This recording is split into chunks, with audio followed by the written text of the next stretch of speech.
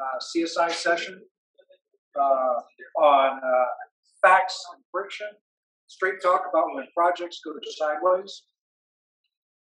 So we'll have a, a good panel discussion tonight on this. Did want to acknowledge that the, you know we had the food tonight here. I'm glad everybody was here and able to partake. Uh, the chapter sponsored the food tonight, so thank you, chapter. Uh, uh, at this point, I want to introduce uh, Michael Bird, 410 Architecture, who is uh, our moderator. Is that a fair description? I'm responsible for the entire night, whether it goes great or bad. Oh, okay. So that's Michael Bird, 410 Architecture.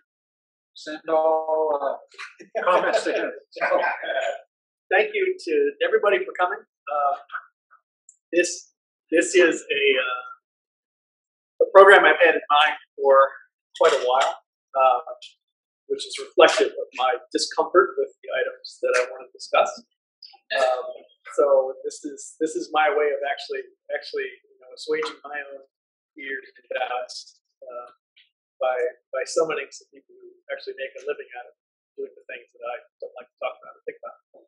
Um, we my my goal here is is to is to is to expose some of us who have heard a lot about the way the process uh, of, resolving disputes uh, in the construction industry on projects is supposed to go. We've heard a lot about the way the process is supposed to work.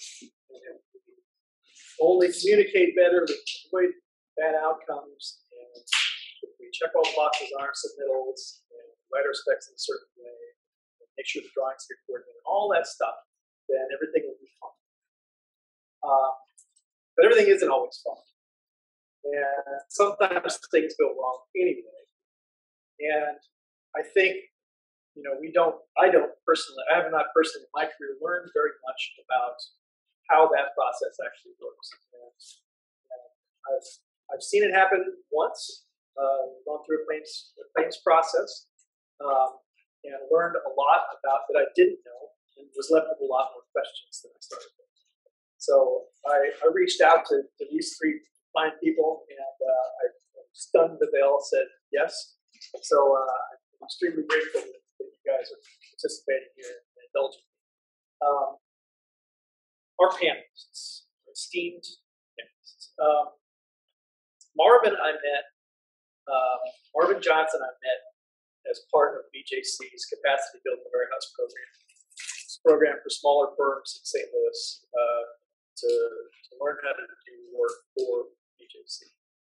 Uh, I've been in the program for years. One of the first things we did, uh, we started the firm, and uh, when, when we got our, our certification, rather, and uh, Marvin's been there for yeah, uh, Marvin has had 36 year career uh, so far, including time at, at Kwame Building Group, Hunt Construction Group, BJC, um, and is now uh, bringing all that expertise as senior member of Construction Management Partners, I believe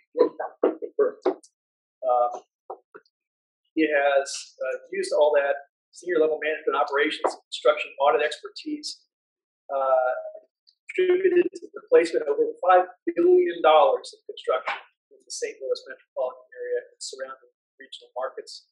His consulting firm specializes in project management, construction, audit, and advisory, and diversity program management services.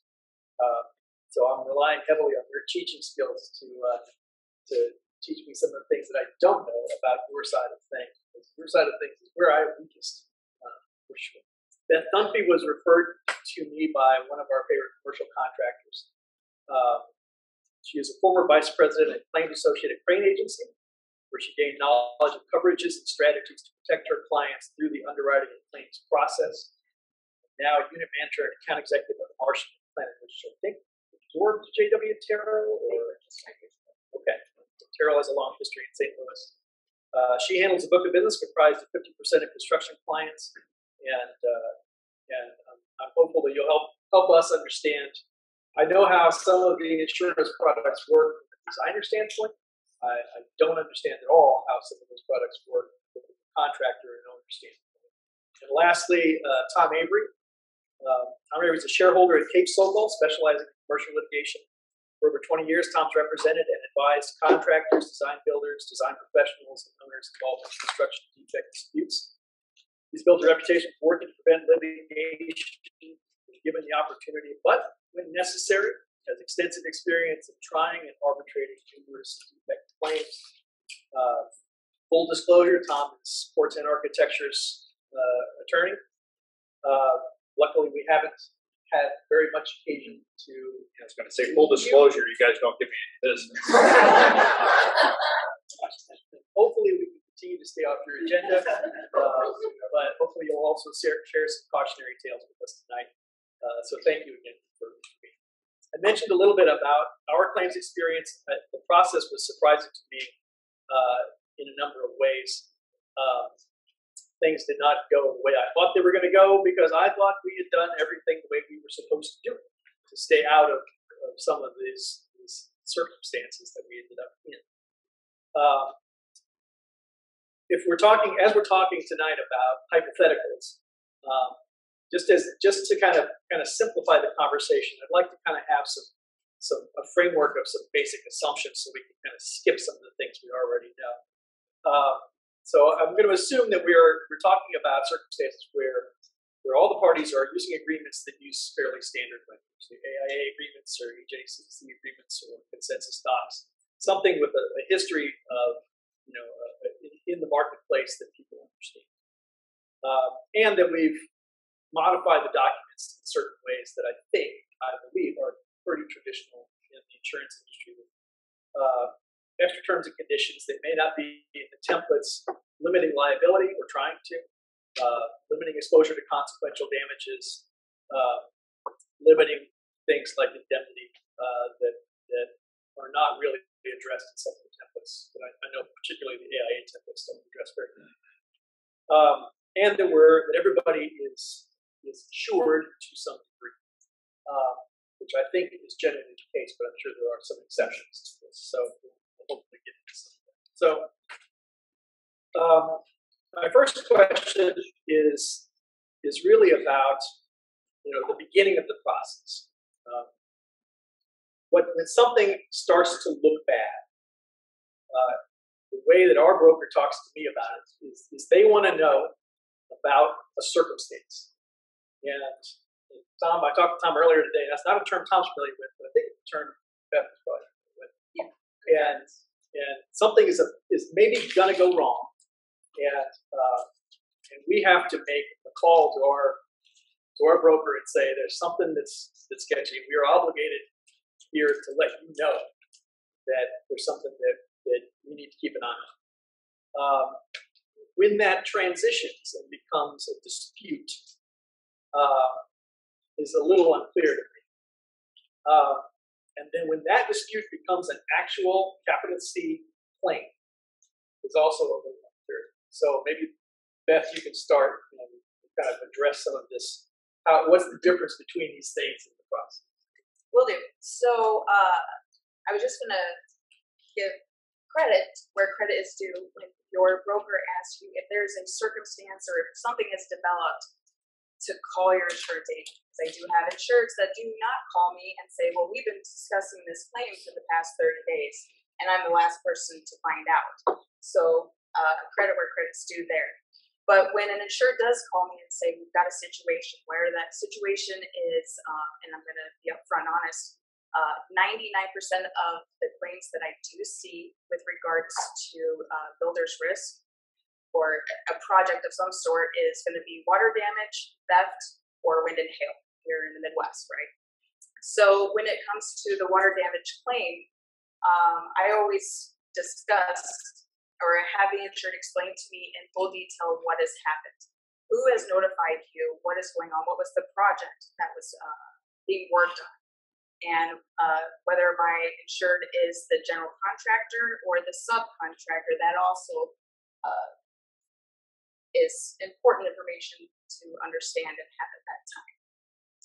So, uh, with that being said, I know that you have different definitions when it comes to with Missouri state law. Uh, to be upfront, every state laws are different when it comes to requirements uh, via the insurance policies, the forms, laws with regards to notifying.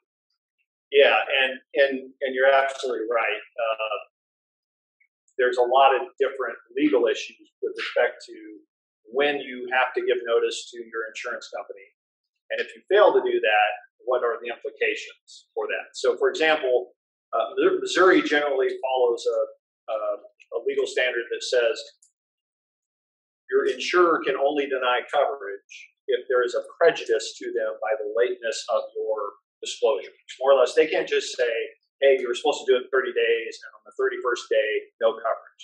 They're going to have to show that your failure to disclose it to them in a timely manner prejudiced them in some way. They, they weren't able to preserve evidence. They weren't able to do something like that. Now, on the flip side, the last time I looked at Illinois law, it's a reasonableness standard. It's not a it's not a prejudice standard. It's did you provide notice to the insurance company within a reasonable period of time under the circumstances? But I will tell you that um, in the happy occurrence, when when my clients call me early in the process, which I want to say emphasize over and over again, is call me or call your lawyer early in the process. There are things we can do to help to make it better. I know you don't believe that when I say it, okay? but it really, really is true. Uh, I have clients who I've worked with for 20 plus years, and the goal is not to get them into an arbitration or get them into litigation. The goal is to help them avoid that, and we can do things to help that early in the process. So, uh, and one of the things I almost always say is notify your insurer, uh, because you are taking a big risk if you don't notify your insurer that you're going to lose your coverage. Uh, and so that is the first thing I would say is if you think there's a circumstance or an occurrence or a potential claim, pick up the phone, call and, and tell them that that's out there. Then we can talk more about other things we do to protect ourselves in the interim. I don't know if you want me to address like the difference between a claim and a dispute. Or... Uh, I'm gonna. I definitely want to get there. Put a I'm, I'm gonna put it in there for just a second because uh, Marvin is going to tell me what contractors carry insurance, right? What does that insurance cover? For me, it covers errors and omissions, right? Professional liability. Plus, there's there's commercial general liability. Uh, you know, contractors carry uh, GL and workers' comp, and, and, in some cases they they will provide the, the builder's risk depending on what the situation is on that particular project. But the owner some contractors carry that. My my program is one of Tom mentioned the word avoidance and our program is strictly geared for uh, avoidance. If, if I can prevent them from having to make the phone call uh, to Beth, um, or maybe even the early phone call to Tom outside of um, the the consummation of the of the agreement during the time that the budget things like that are being established. You know, that's you know most of what I see on the owner's rep side not necessarily, you know, water damage or hail damage, though that happens and you have certain weather events and how is all that documented, but it's usually compliance, performance, those types of, of, of things. And and we like to say we can avoid some of that if if our if our if our language and, and our scopes and in our agreement is clear and unambiguous and and though there's no 100% you know clean contract where there there won't ever be a but if you if you start there you know my, my experience is, is, is, said that you know in order to avoid a misunderstanding always get an understanding and as I start to peel back onions, when I think there's a dispute, and this is far before the claim occurs. Just when it starts to look and feel like a dispute, you start to peel that onion back. What are we disputing about? Usually, that lack of understanding rears its head. You know, so but by the time it gets to to where they have to call Tom or even call Beth, you know, other than they should call them on the front end to make sure that, that they are reviewing the language and, and looking at the risk there. You know. And to feed off of that, uh, your policies are your professional liability policy and your general liability policy are two different types of policy. One is a claims made, one is an occurrence. I won't go into I'm here, so I will not go into the, the definitions between the two. But as Tom mentioned, you by withholding the information that there's a potential claim that you have been made aware of, you are jeopardizing the coverage on your policies by doing that, by not allowing the carrier to the ability to investigate and to begin the process because your policies that you are purchasing, unless you're changing the wording, and again, everybody's policy is not the same. You can add endorsements, you can take off coverages, you can add backs, but majority of policies are a duty to defend. You are giving the carrier premium so that in the event of a loss, their duty is to defend you. And by withholding them, withholding information from them, or that you've been made aware of a claim, you're not allowing that to happen. And with that, they can come back and say, well, because you didn't follow the terms of the policy, neither do we. So we don't have to now protect you. We don't have to defend you. That obligation on our part to notify our insurer Right. is not, not a matter of law, it's a matter of contract between us And the carrier, which then is, is then modified by the law. Uh, so, for example, the, your insurance contract in Missouri could say, you must give us notice of occurrence within seven days. And Missouri law would say, no, that is only going to be enforced if the failure to give notice causes prejudice to the what I, so it's not clear. I do want to say one thing on what Marvin said. Uh, a lot of the disputes that I've dealt with over the years in construction contracts are where the parties have gone in and modified on the front end a portion of the contract, and they don't fully understand that if they're going to modify this portion of like the AIA A201, there's three other places you also need to change. So they modify, you know, they sit there and they either get a, a or something and they make the change in this one place. They don't make the change in the other two places. Then when I get involved and there's a dispute, one side point at that point, this one and the other one say, no, it says this over here.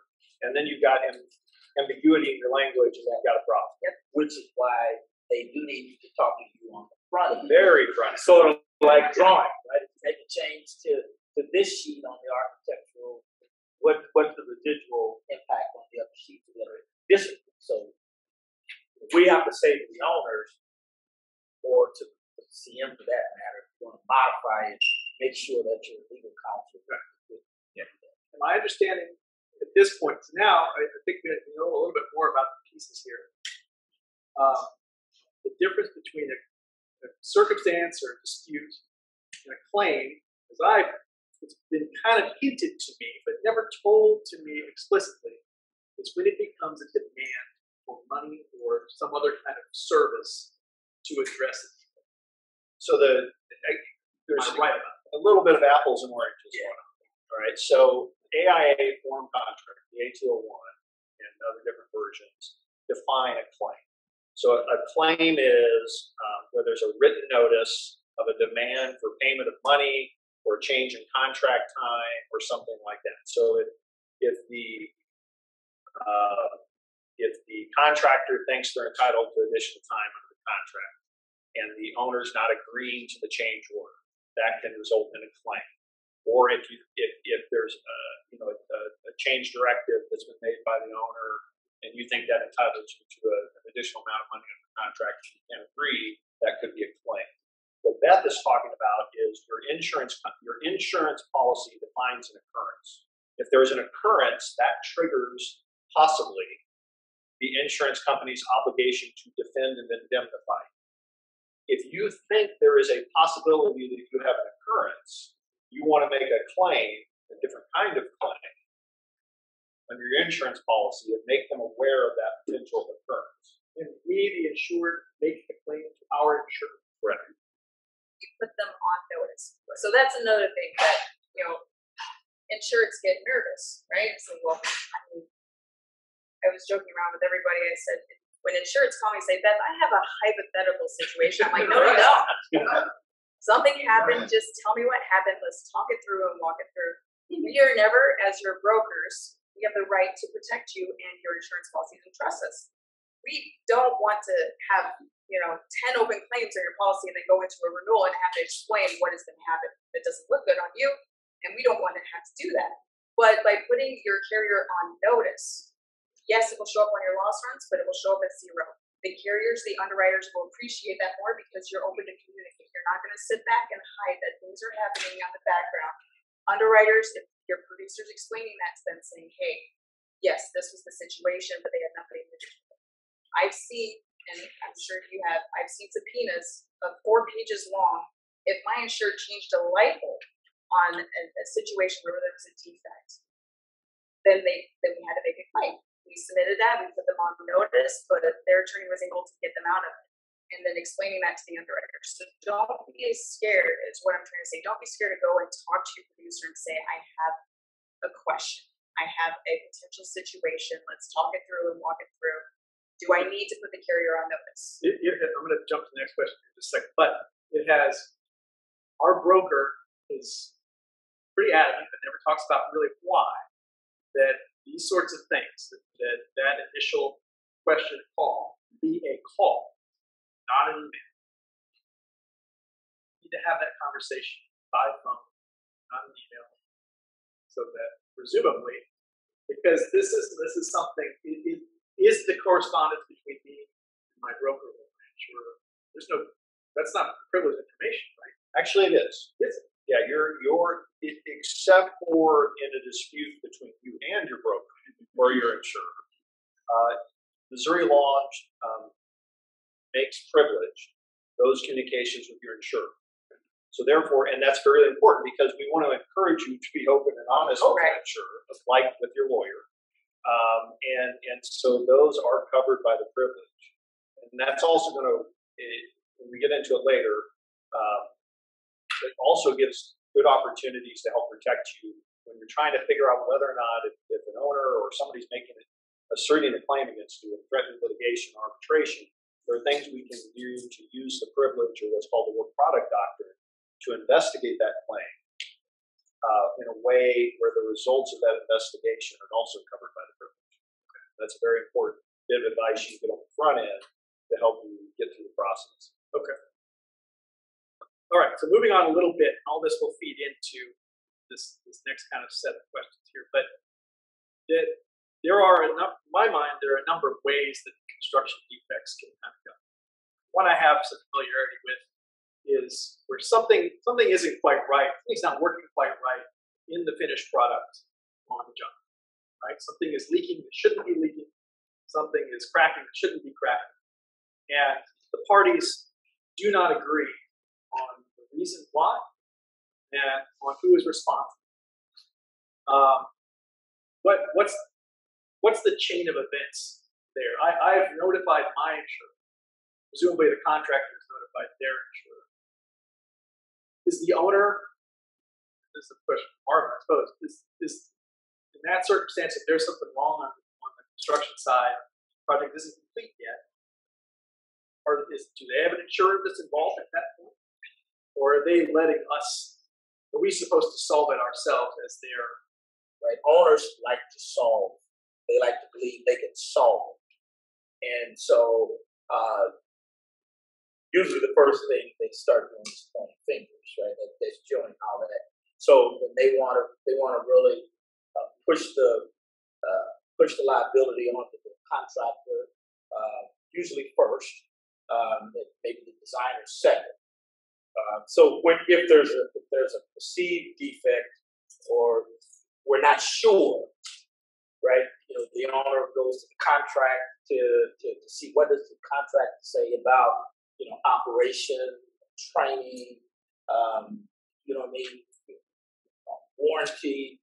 They'll bring get the engineer involved if it's MEP. And then they the engineer may, may write a, a letter, uh, some sort of opinion letter. and Then they, they start to go from there. But usually I don't think the owner calls their Okay. broker. Okay.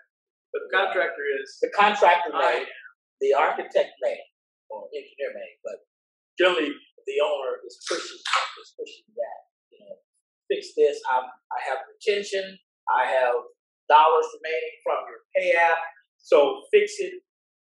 or us. or else.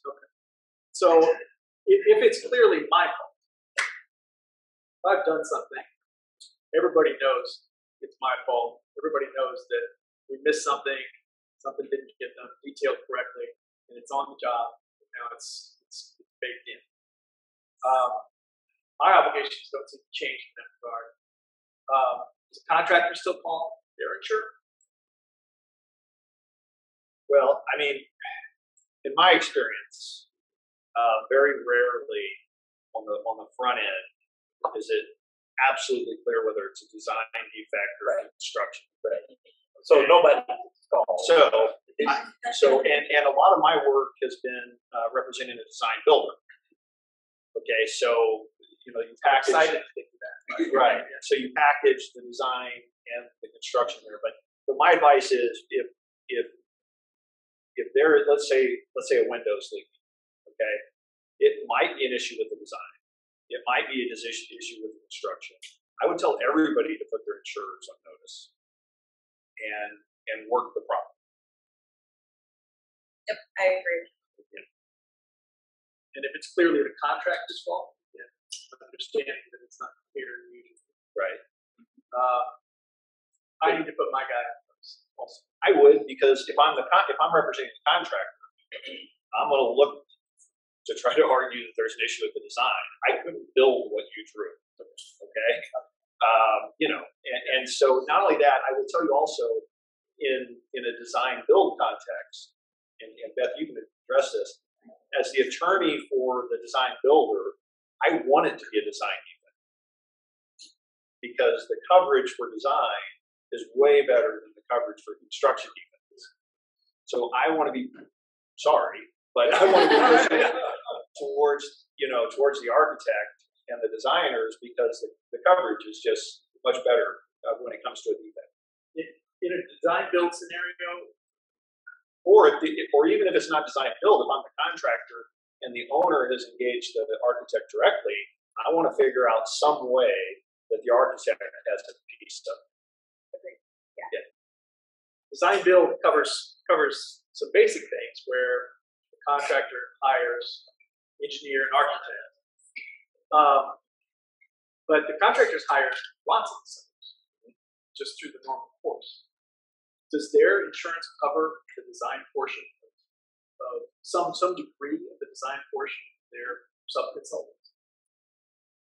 Do they have some kind of you know Um, I mean, in the situation I've seen, that I've seen where the, the, the builder, the design builder, is going to have its own CGL, and and and then they're going to engage an architect, which might be in house or it might be someone, and that one's going to have separate coverage. Now, if they're like a captured design firm, it might be under the same insurer, but it's going to be a separate policy for the you know. Correct. Yeah, and I would go back to that and state that if the owner procures, gets a general contractor, the general contractor has then gone out, either had their in-house design um, architect do the work or went to an outside firm. In my line of business, in my world, the first thing people are going to say, I want to see the contract. Who is responsible? Did as my GC, did he go out and make sure that the architect or the firm had proper insurance? So they have E&O. If not, then I know that my general contractor's insurance, their professional professional E&O insurance policy will cover that contract, even though I or cover that firm, even though I make sure because we're risk managers, right? I like to push risk anytime I can off of my insurance. If somebody else is doing a job and they're negligent, I want to make sure their policy is on call and not yours. Their typically is some coverage on the design builder side that covers the design portion. But yes, they are they are requiring their sub design subconsultants to have their own coverage. They better be. they better make sure that you guys have your own insurance. The- yes. Alright. Yes, but it all, I will say the first thing, let me see that contract. I want to see if you sign a contract saying that you're assuming all of their liabilities because they don't have it and you made a business decision to to accept them because that's your cousin or whatever the case may be, I need to see the contract. Um, so if there's a defect and it's a design build project, when does that insure? When do those insurers get notified? Because in my experience, design builder part of the, the, the attractiveness of the design build process for the contractor is that their designer is working directly for them and is compelled to be a part of that solution Yes, without bringing it to the owner's level. Correct, but then you're always then gonna have multiple levels, so let's say the design, the design builder receives a claim from the owner. Okay, even if the, if the architecture firm, the designer, is a captured firm under the design builder.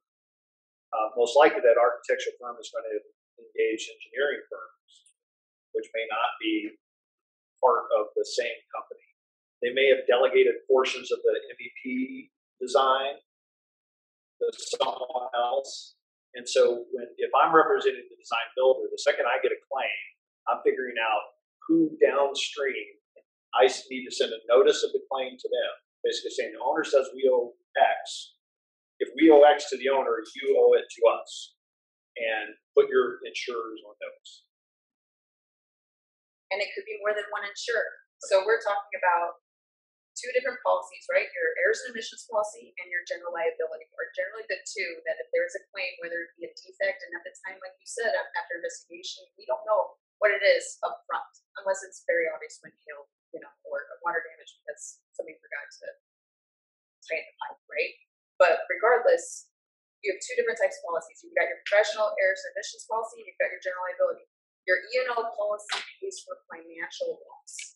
Your general liability pays for any bodily injury or property damage. So if you've if there's a loss and it's caused property damage, but is leading to the fact that now the project has been delayed because now you got to go back and fix it, you need to put your E and O carrier on notice because there could now be a financial loss. There needs to be more permits obtained.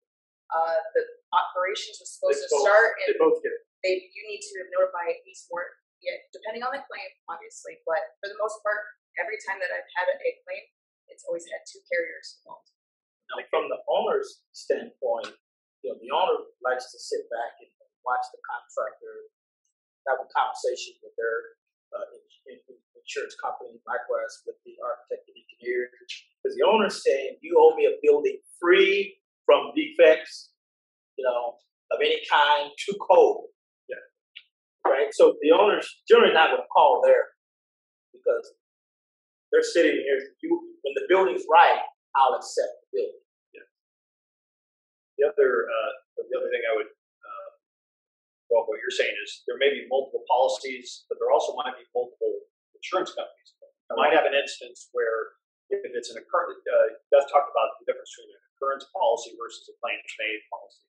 But if your policy is an occurrence policy, that means it's the policy for the year that the occurrence happened in.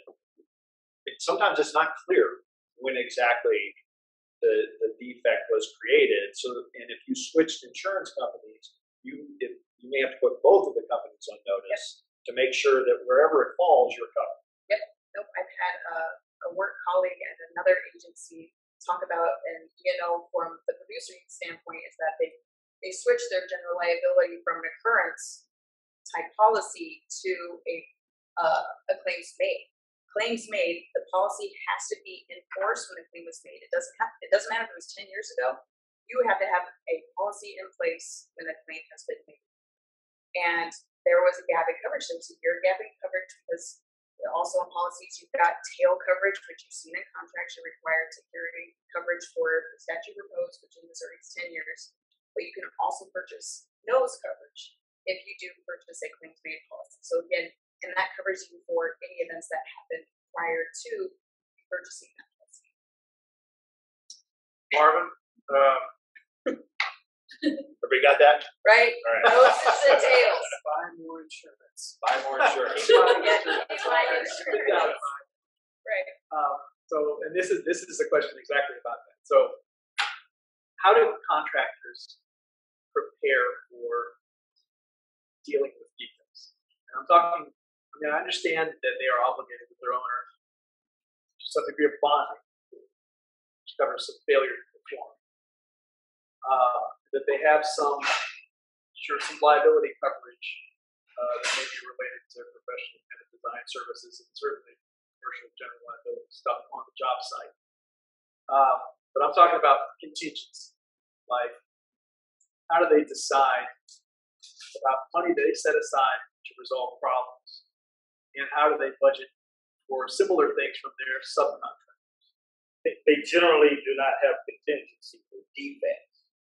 I mean, contingencies are generally for unforeseen uh, elements of the project. Usually, variances between field conditions, what's on the drawing, or um, sometimes issues related to the authorities having jurisdiction to the, to the code officials and, and things that come out of their reviews and comments and, and, and, and changes and adoption of new codes and um, generally I haven't seen them say we're we've established a contingency for defects. But they do make mistakes sometimes. Well, not that they're going to tell you about. Right, right. But but yes, they How do they pay for those mistakes? Well, it depends on how uh, sophisticated the owner is.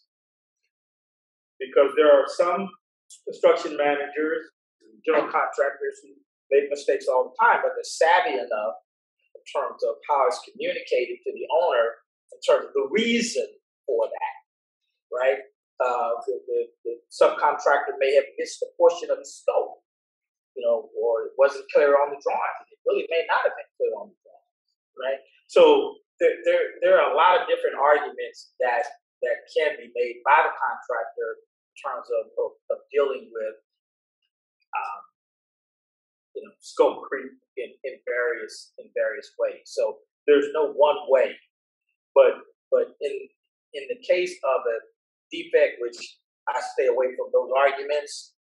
Um, you know, the, you know, getting getting the engineer involved. And usually, there's a there's a process of of, of trying to uh, understand the origin of it and, and whether it was Yes.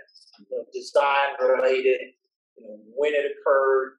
Um, that that probably happens long before the phone call is made to to, to Beth because they're trying to they're trying to work through some of the early discussions because everybody really wants to know is there a possibility that I'm going to be exposed there, you know. But but they're generally not allowed to use contingency uh, funds. Maybe contingency is, is too formal a word. Yeah. Is there is there any line item in your typical project budget that is held back for for for resolving things like this?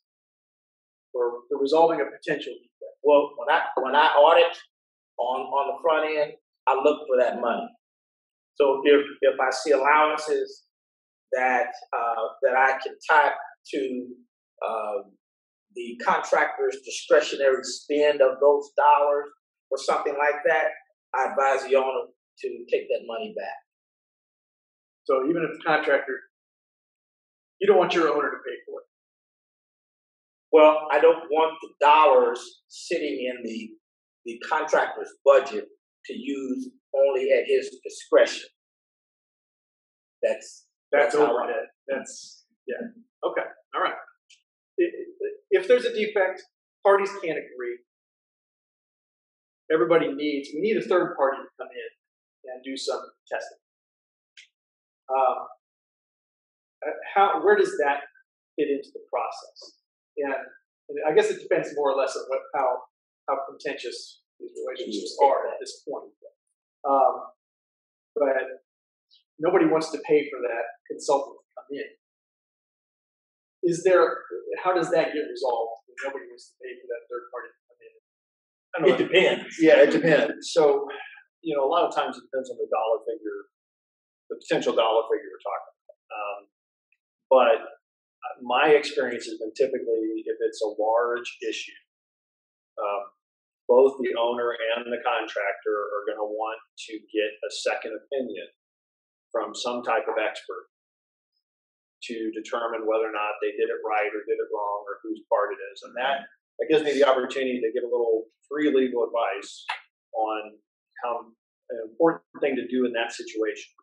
Um, there is a tendency to say, "Hey, I've got a I've got a design issue, or or, or let's say I've got a concrete issue, uh, and I want to know exactly what is you know my concrete is buckling, and I want to know why the concrete's buckling. And you may want to go then get an expert to come in to, to advise you as a party as to what that is. Do I have a defense? Is it something beyond my control? Who's, whose issue it? One of the smartest things you can do is call your attorney early and have the attorney be the one who hires that expert to do the investigation. Okay? The reason for that is that expert's going to give you an answer. That expert is that answer is either going to support you or it's going to say you screwed up. Right?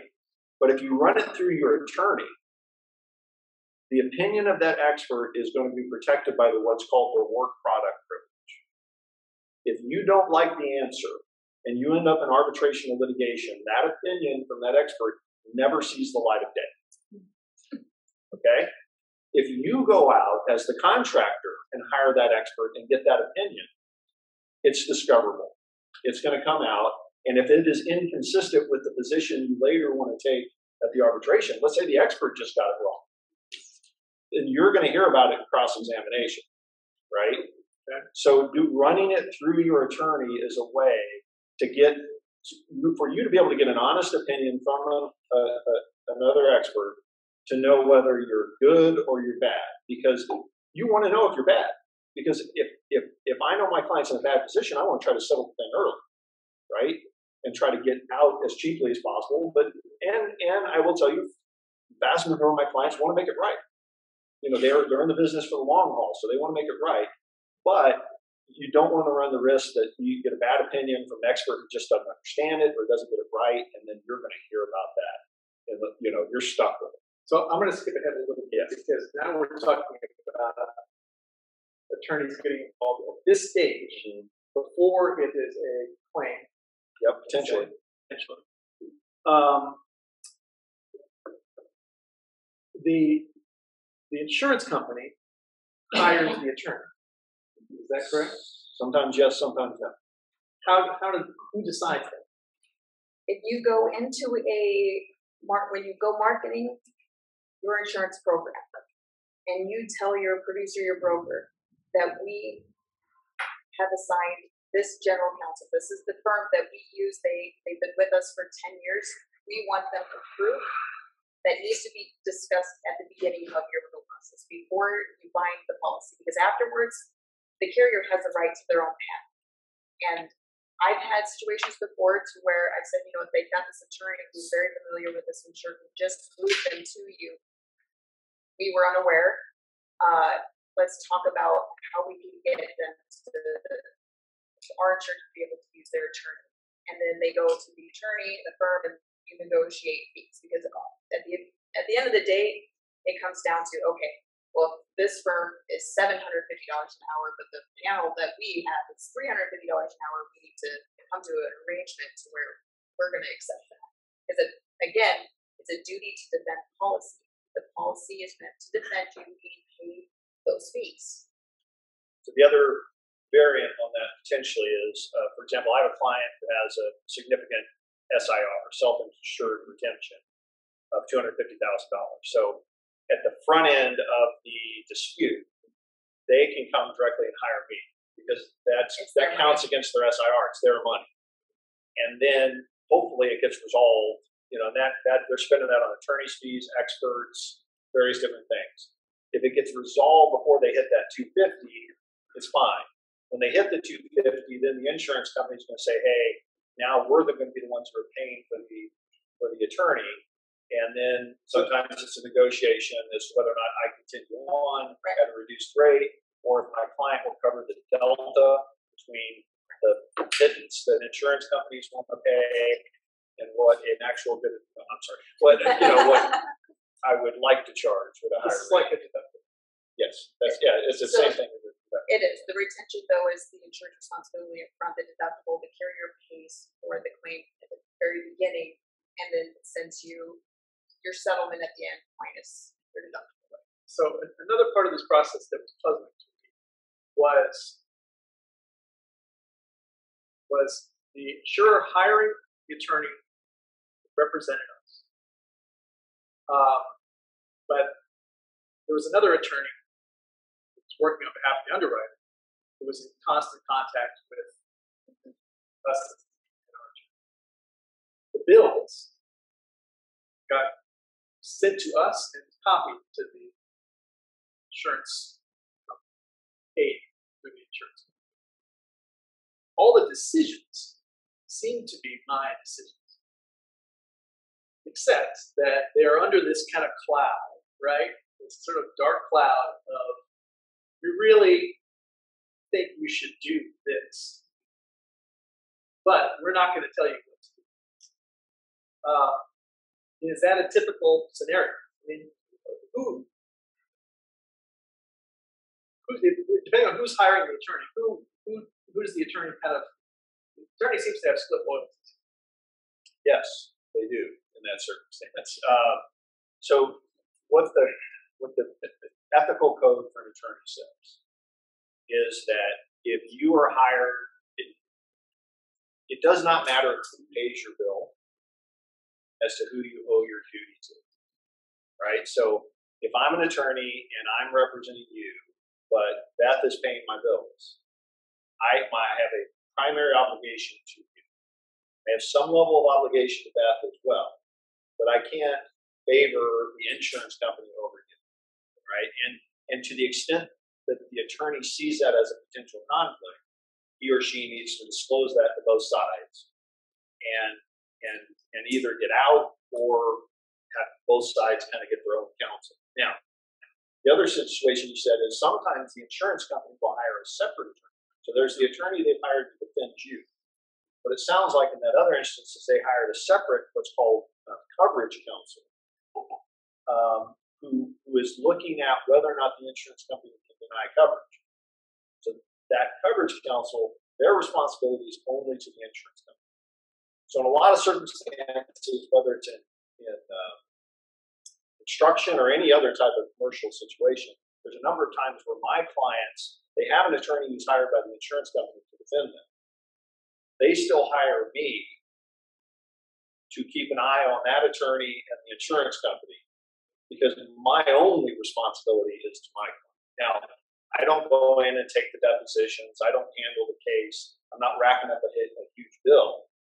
But when it gets to discussions of settlement, when it gets to discussions of coverage, then I'm there to help make sure that there is an attorney that is only interested in you and only has a duty of loyalty to you. that answer the question? Yes. Okay. Uh, Marvin, do your owners have a, a compelling interest to be involved in this process? To help, I mean, is there a role that that that, that they should play trying to get these parties to absolutely come to the table? What does that look like? I think um, they, they certainly want to be one of the leaders in, in communication, right? Bringing the parties together, bringing the information forward, uh, being the level head, you know, off of the of the of the team, so that things do not get.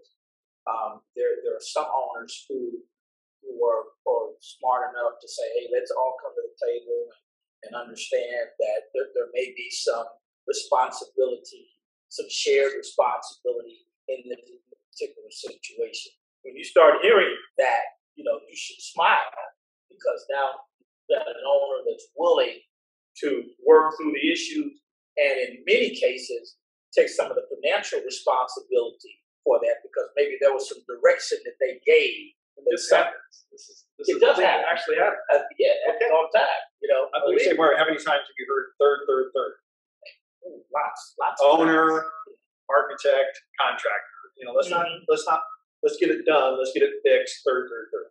because ultimately it, it, it this process does not help the project, especially if the project is not completed. You've got some, some hard targets out there for substantial completion. This that's not the time to be uh, sitting down with lawyers trying to uh, determine fault or you know liability it's sitting down and understanding maybe where the disconnect may have been between the, the documents and the, the contract versus the field condition, which happens every day. So the, the owner, you know, as, as we advise them, they have a vested interest in resolving. Um, does anybody here have any, any questions?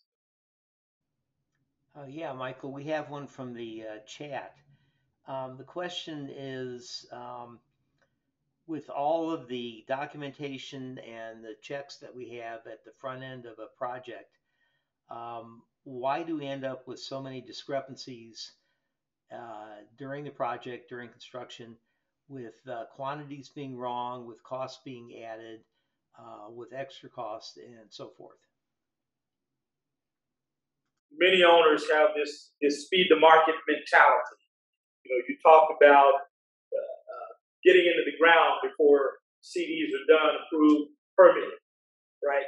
You know, owners now are seeking a for the CM to issue a GMP, right, at 60% SD or 50% DD. They want the GMP at that moment. You know that, Mike. I do. So that in and of itself, you know, creates all the other problems that you mentioned after that, right? Whether you know, there's so many things undefined at that at that point in the in the design. You know, they're bidding concrete without knowing that there was a this particular room needed a thickened slab because of the piece of equipment in there, but it wasn't designed at DD level. So we're almost asking, we're almost asking for it Owners are oh, asking. You're, you're, Right. Well, You're asking for it. well, we, the owners, here's my experience with contractors. Contractors are optimistic people, right? I mean, you are. You, it'll the- work out. It'll work Right. out, right? You know, right? So I think sometimes you see those issues, but you want to, you want the job, you want the work. You're going to kick the can down the road, and we'll be able to work it out when the time comes. And honestly, nine out of ten Many times it you does. can work it out. When you can't, you call me and you spend a bunch of money that you thought you were going to save by trying to kick the can down the road. Mm-hmm. So you're absolutely right, but I, I think it might be more. Well, you put a bunch of contingency, you know, Right. in the job to help to help cover that. But then, as the owner, you need to be flexible enough when when that subcontractor comes back and says, you know, there was a there was a gap here. I've got a simple question. Yes. Um, for insurance. So first of all, thank you for that phrase, duty to defend. I've not heard of that before, but it, it helps me to think about insurance companies better. Yeah. However, my question is, because this goes back to experience, when there is a claim made against me as the architect, um, through some fault of the job, and so we have to notify our insurance companies early. Right. Because that's what you're asking us to do. I think one of the fears reasons why that's not done is because then as that claim moves down through the process, in this particular case, will prove not to be negligible, had no fault in it, yet our insurance premiums go up for the next three years because of that claim, which had nothing to do with us. So why is that on the insurance side? So I will start off by saying that there's a difference between the claim and putting your carrier on notice. So putting your carrier on notice, making them aware of a claim, is just saying, hey, there's some circumstances, we're just going to do our investigation on it, and we'll let you know if it develops. You know, your professional liability is different than your general liability. So in a claim situations, and I'm assuming we're going to go down the road of your professional liability, your errors and omissions coverage, that you were accused of making an error and it has caused a loss. There's now an occurrence. You put your carrier on notice, they're defending you. Still have that expense. But at the end of the day, it shows that we were found not negligent. What I do for my clients, we submit five years of loss runs. That's what carriers and underwriters are going to demand. They're going to see five years of loss history. They want to see what you've been involved in. They want to see if you've been involved in a claim. And with that, if there has been a claim, then it is your producer or agent, whatever you want to call them, responsibility to provide a claim summary. So these carriers understand that you're going to be involved. It's just the nature of the business, especially in this litigious society that we're in. Sorry, Tom. But everybody Oh, sues everybody. You rear end somebody, and now they've got a neck injury, and they see brown brown on the billboard. They're going to call their a, an attorney.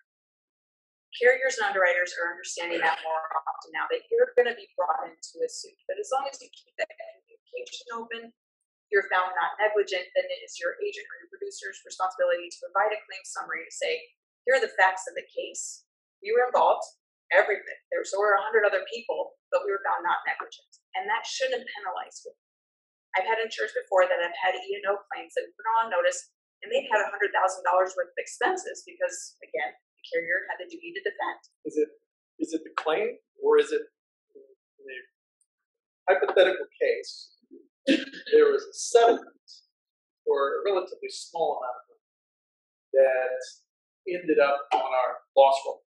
Loss runs. So if an if a settlement We has been paid that money back to our insurance. company. right, What are the amounted to? Right. If there was a settlement, again, it goes to that there should be a claim summary describing everything that happened. An underwriter will understand in a situation if there was a hundred thousand dollar loss and it's all expenses, or there was a settlement made and twenty five thousand dollars was just to get you out of that claim. Underwriters understand that in these days, it's and Tom and I were talking earlier. Write the check. The underwriter knows that oh, depending yeah. on what type of claim it is, how big it's going to be, if they can get out of it for twenty five thousand dollars, that underwriter or that carrier, that adjuster will cut the check just to get them out of the. claim. So you being communication, having the producer communicate to your underwriters, explaining the situation, because otherwise, if they just get here's applications, here's our loss runs, an underwriter looks at that at the very beginning and be like, no, no, I'm going to go with somebody that has zero losses over five years. Uh, if there's been a claim and there's been payment on that claim, provide a claim summary explaining the situation that happened. Could be good, could be bad. Provide an explanation as to what you've done to correct that so that it won't happen again. I negotiate with underwriters all day long. You would be shocked how much negotiating insurance companies can do and what you can get. If there's no claim, and this is, this is a dummy question. If there's no claim, it's just the notification that, you know, does, does all that go away once the issue is resolved? You know what I mean? It- Yeah. Puts you on notice that, Potential. you know, Potential. potential, but nothing, nothing comes out of that. There's all that, you know, uh, you know, he doesn't have to be fearful of that because he notified you, put you on notice that somehow there's a blemish. Does that, does that I would- go away? I would guess at some point It goes away after. I mean, you're going to have a record. It's going to be on your loss runs. They're going to see that there was a potential claim for five years. So that's, so then, so there is still the potential that, that those premiums would go up for that five years. Not because of the claim, unless there's, again, it's all about conversations with the underwriter, explaining the situation. If they see a claim and they, there's no explanation given as to what the circumstances were, the underwriter has the ability to say, go to their supervisor and say, here was the situation, here was the description of the claim, here's the correction that they made. We're not going to deduct it from that. We're not going to penalize them for that. Again, it's all about conversation communication. Let me flip it around a different way. So I, I understand the question. I hear that from my clients all the time, which is, well, if I give notice of the claim, I'm taking the risk that my insurance is going to go up. Okay, fine. If you don't give notice of the claim, taking the risk that you're going to not have, you're not going to be insured for that loss. And if they if they nail you, even if you were even if you think you did nothing wrong, we've all seen cases where the defendant didn't think they did anything wrong and they get hit with a million dollar claim. So you want to take the risk that your insurance might go up a little bit for a number of years, or you want to take the risk that you're going to close the doors on the car million dollars. because you can't pay a million dollars. You know, you know, there's business decisions that you make, But it, it comes. It sounds like it comes down to. It, it, I don't know what, what the rules are for setting for professional liability coverage, and if there are if there are laws that deal with that. Like not my specialty. So I, I and it depends on you've got standard markets and you've got your E&S markets, which are specialty lines. Standard markets have to follow guidelines, regu- they have regulations they have, have to follow. You could get a policy from Lloyd's of London and it could insure anything and everything, depends on you want to pay, obviously. But uh, those uh, those types of policies, every policy can be different. But my professional liability is a standard policy. I don't know who your carrier is. Like, It could be, it could not. Beazley, Beazley has admitted and they have not admitted. So admitted means that you're gonna, they're gonna follow regulations, not admitted means they don't have to. yes, sir. I, I'm not sure it's still true, but one time is my underwriter for professional liability, the the underwriter had said in writing that we will not let a simple notification of a possible problem affect your premiums. Um, because we want to know. Right. Uh, and it was in writing, it wasn't, my, my broker didn't negotiate anything. It's just, yeah, you call us, say, something is adding up, there may be a problem, we're going to figure it out they're on notice, that that couldn't affect my, unless there was an actual That right? Impressed you got it in writing. No, I, I That's mean, great. those advertised. Right. I mean, again, the communication that you have or the relationship that your broker has with your underwriters is key. It- And the, that communication means a lot. Communicating with your attorney right at the very beginning. Don't give us hypotheticals. Tell us immediately if something is happening. And we will guide you towards that path. And then talking to underwriters, first question they ask me, Beth, I got this submission. I've never seen this client before. Are they your client? Or are they moving from a different agency? They want to know the relationship you have with your insured. They want to know that there's trust involved with your insured, that they trust you, that they'll communicate with you if something arises. Are, are there any? Uh, we'll do, are there any questions on? Um, there's a comment from online. Um, the, person who's making the comment uh, says that it's generally easier to resolve the smaller problems when you have an experienced owner, experienced architect, and experienced contractor. Um, that usually the only difficulty in that type of project is the extremely large problems um, but that the smaller, less experienced owners tend to um, squabble and and fight a bit over uh, any sort of problem that comes up. So, I mean, my experience is consistent with yours that typically a sophisticated owner and a sophisticated contractor and designer are going to work out 95 out of 100 problems that they have um, because they, they want a solution, they don't want to fight.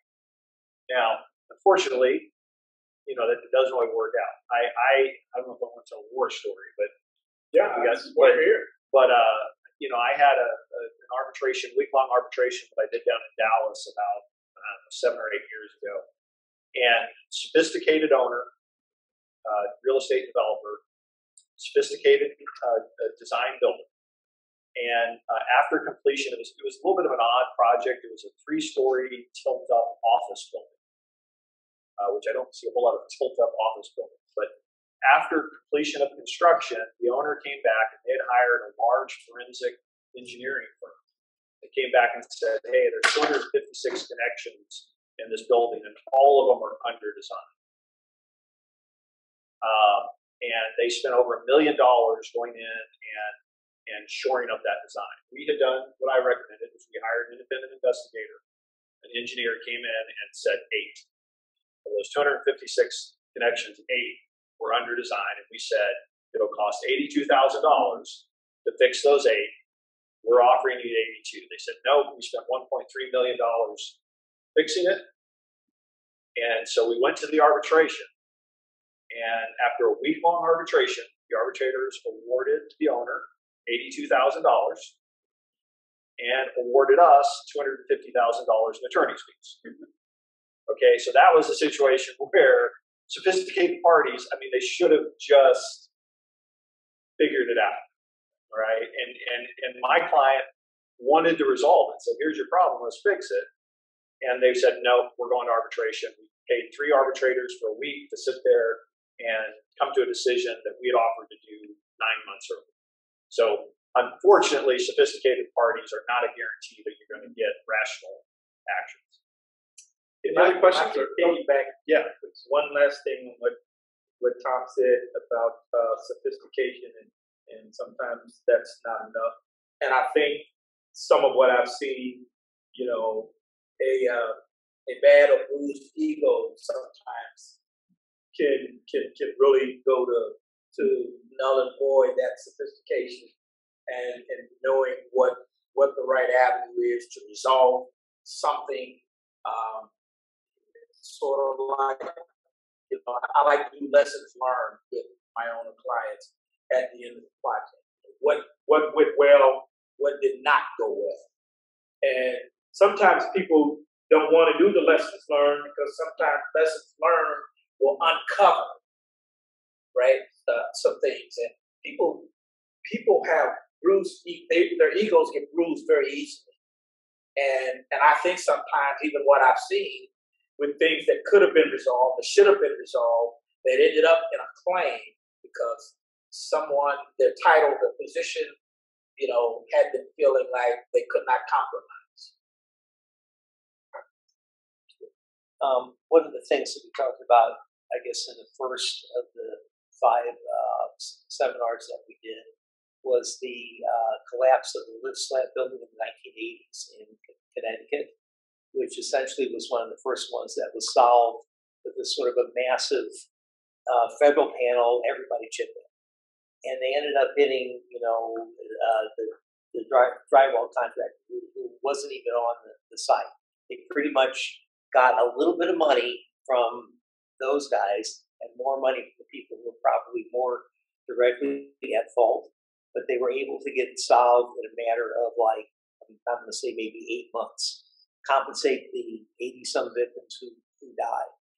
And um, I, I've always thought that that was a great model for the horrible things that, that happen because even though a lot of people probably paid into it that shouldn't have. Everybody, every company survived, right? Nobody went bankrupt.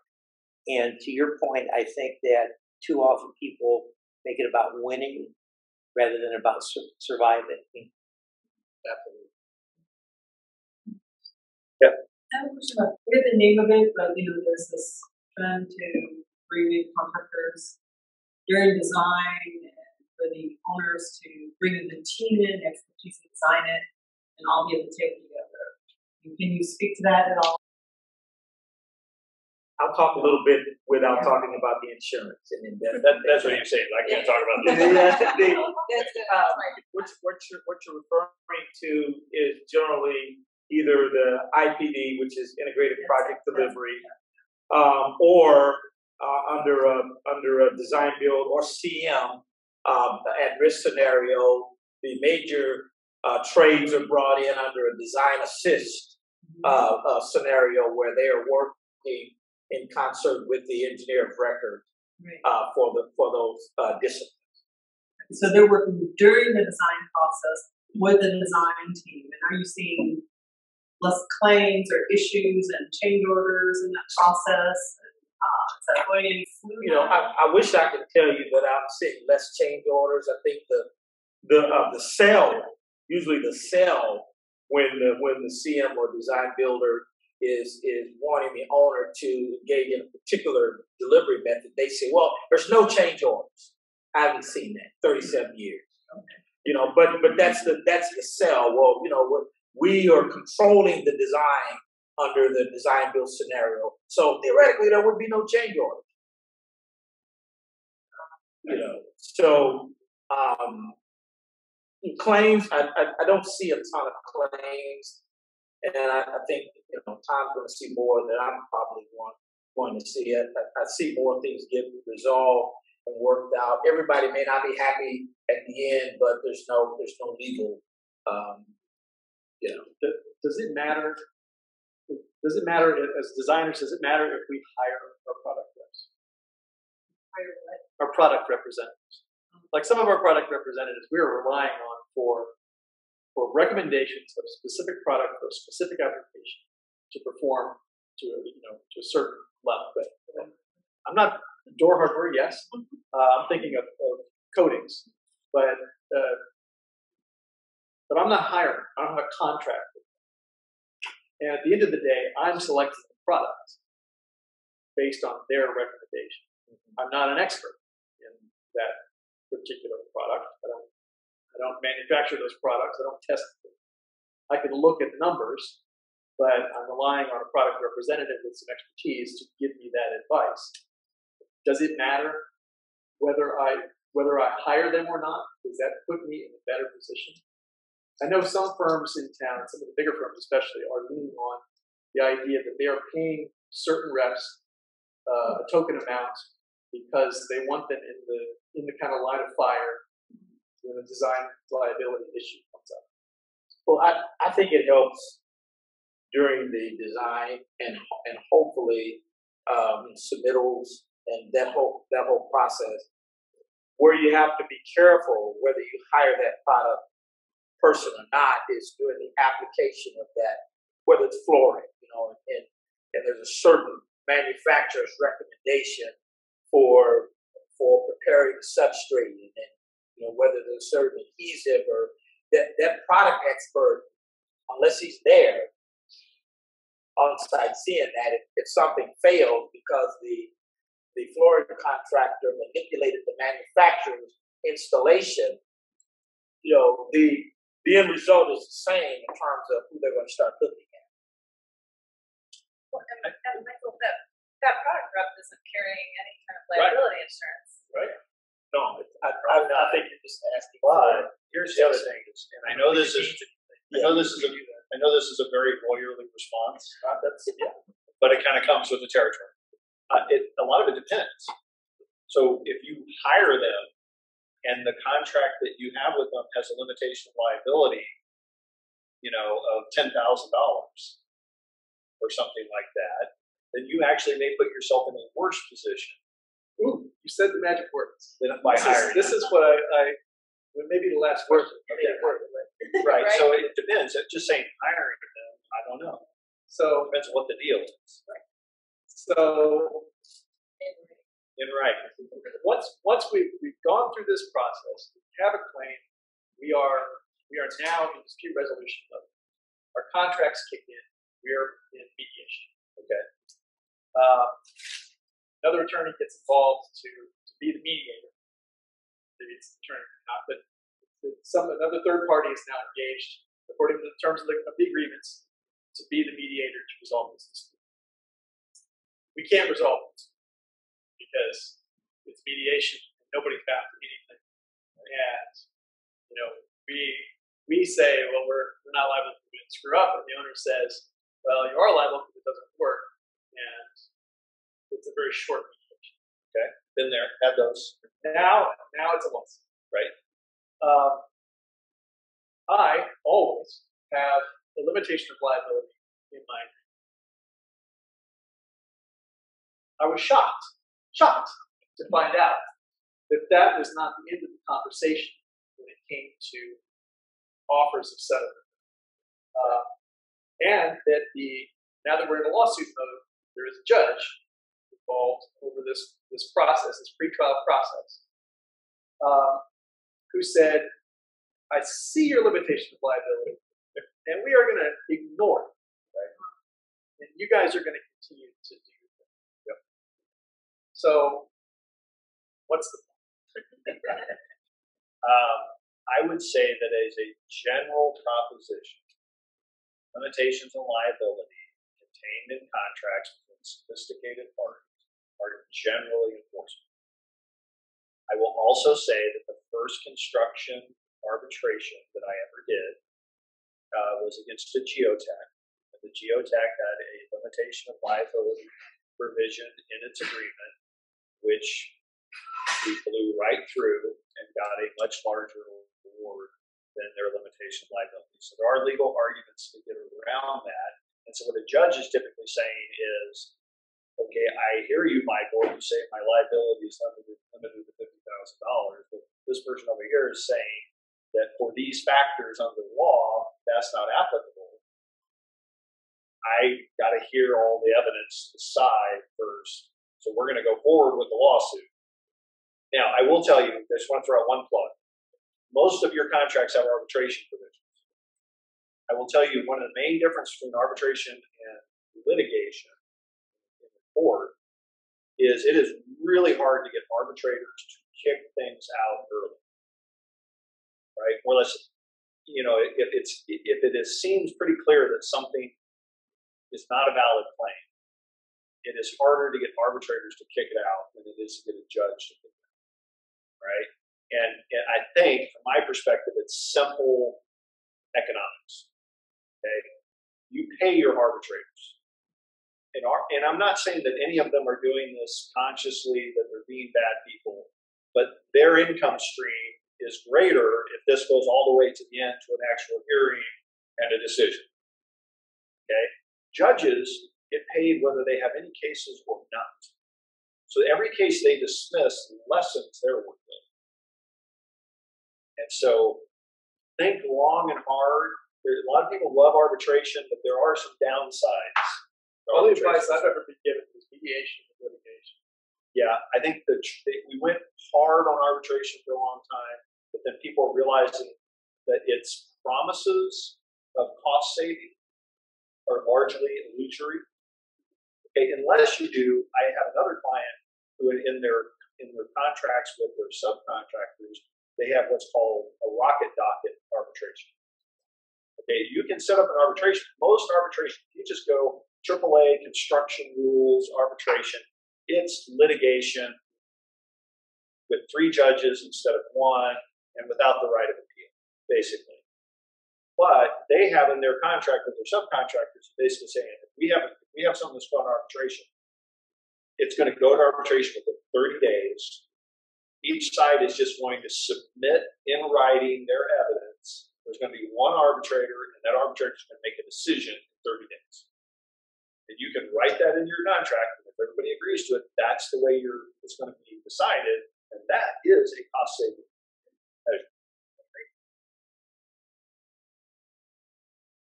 Well, unless there are any other pressing questions.